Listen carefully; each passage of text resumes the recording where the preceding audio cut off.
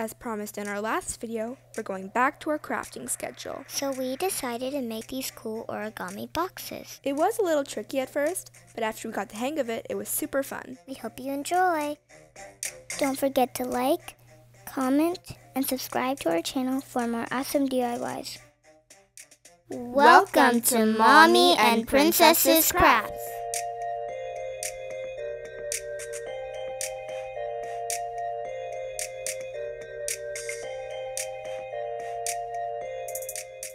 To make the triangular boxes, you will need printer paper in different colors and scissors or a paper trimmer.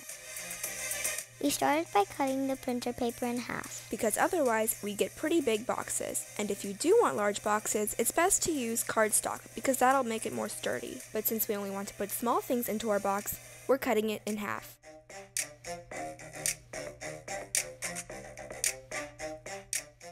Next, cut your papers into perfect squares. To do this, crease your paper in one corner with your nail and then fold, making sure the sides meet.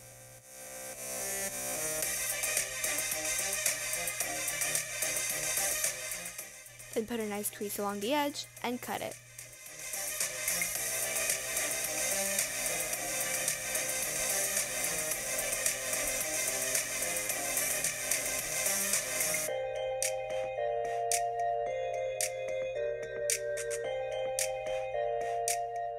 Once you have three squares ready, fold them into triangles. If you've already folded them one way, fold them the opposite.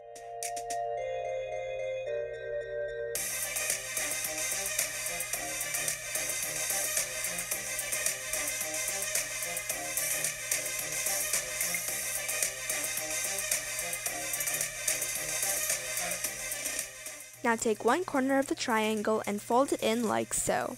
Do this for the other side. You should end up with a square shape. Do this for the rest of your squares.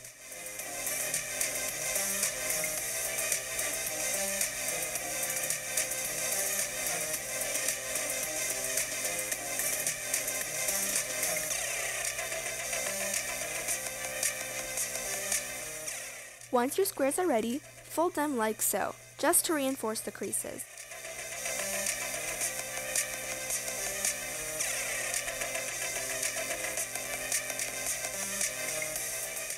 For each of your squares, there should be two sides, one side with two flaps and one side with one flap. Put the side with two flaps inside the side with one flap. It helps if you hold open the flap until you get the other two inside. The last side is usually the most tricky to add, but if you keep at it, you'll get it. Start by attaching the side with one flap.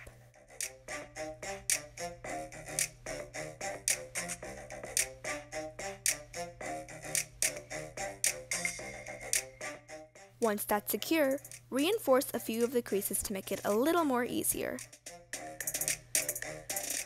Then push in another flap.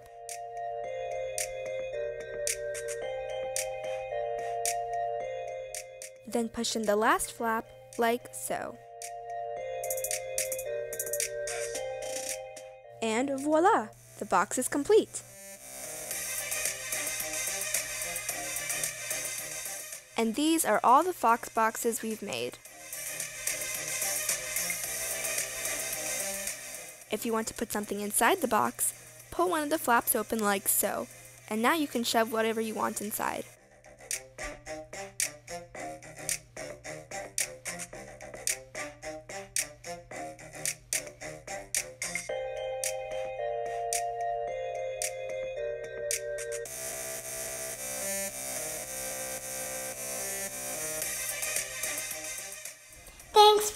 Watching. We hope you enjoyed this video. Bye!